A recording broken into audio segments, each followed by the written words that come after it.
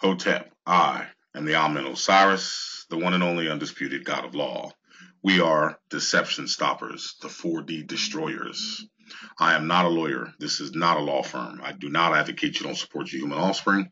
I simply advocate you made them in private, then you take care of them in private. And I'm going to happy to announce the I'm going to be hosting the discharge arrears by operation of law technique. Okay. I'm going to teach you how to discharge arrears by operation of law. Okay, this is Thursday, November 7th, 7 to 9 p.m., or Friday, November 8th, 7 to 9 p.m., and this is Eastern Time. Donation is $50 per seat. Okay, and what I'm going to teach you, all right, a couple little steps, all right, that I'll show you how to put together and use. Now, uh, I'm going to be quoting the uh, glossary of common child support uh, terms arrearage, past due unpaid child support owed by what? The non-custodial pay rent. All right. O, to bound, to be bound to do or omit something, especially to pay a debt. All right. The word bound, contract as contract as meant by bound. All right. So what we're going to do is we're going to go over and I'm going to show you, gentlemen, you do not have to reinvent the wheel. I'm going to teach you how to use 42 USC uh, 666A4. Okay, and this is how you put. Uh, I'm going to show you how to put a lien. Procedures under which liens arise by operation of law against the real and personal property for amounts of overdue support owed by a non-custodial pay rent who resides or owns property in the state. What is operation of law? The manner of which liabilities develop upon a person by mere application to the particular transaction, that's Title 4D transaction, of the established rules of law without the act or cooperation of the party himself. So I'm going to show you how to discharge arrears without the act or cooperation of the 4D crime family. Okay. And we're going to use, we're using, all we're doing is we're going to use their information against them. This applies to anybody, gentlemen. All right, but more importantly, if it's owed by the non-custodial pay rent, that's automatic discharge right there. Because guess what? Non-custodial pay rent is what? Is property. Right?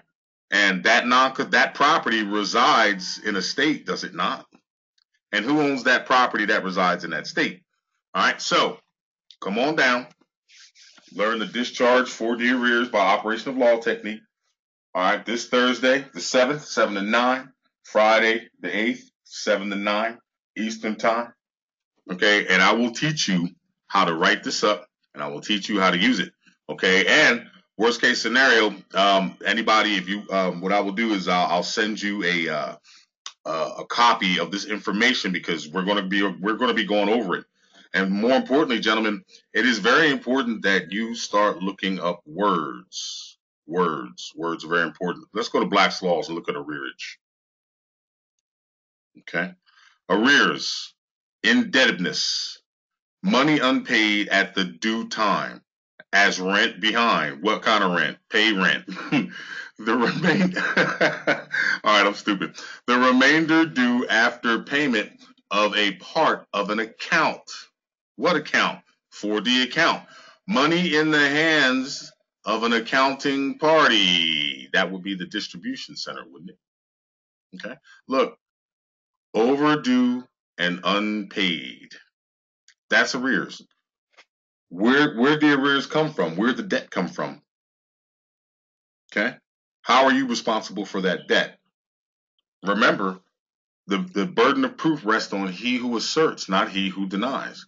So the the the the crime family that is asserting that you you owe this debt and you're bound to this debt, okay, they have to prove number one who actually owes that debt and who is bound to that debt. And until they do that, all right, they have nothing against you. So so we're going to show you basically how to default yourself out of the default them and remove the rears off of you. Okay, there's two different techniques we'll show you but this is the information that we're coming from. I will see you either Thursday or Friday. Uh, I'm sorry, if you wish to attend, shoot me an email and let me know what day you want to attend. All right, I will send you the request. All right, once that request is done, I will send you the information that you're going to be using for the class and the link. I'm the Amen Osiris. I look forward to seeing everybody Thursday and Friday. Hotep.